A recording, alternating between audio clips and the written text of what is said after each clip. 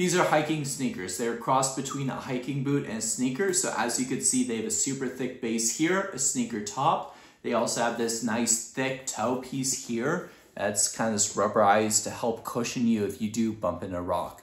So a great thing you could do with these is if you're going for a walk or a hike on the trail, you could then head into town and go have dinner without wearing something that looks like you've been out hiking.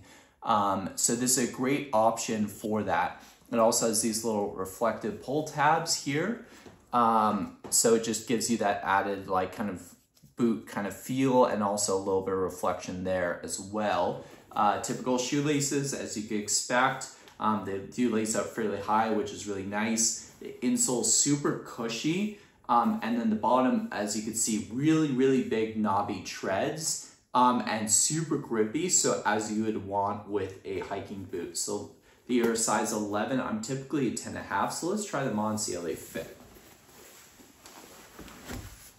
Oh yeah, they are super comfortable and they fit really well. Um, yeah, this is something that I would say I probably could run a size 11 because um, these are thinner socks, but depending on the hike you're doing, you might be wearing double socks or thicker socks. So keeping that in mind is how you're gonna wanna buy them. So you are running thinner socks, you could probably go more true to size. If you're running two pairs or thicker, you probably go a half size up like these are.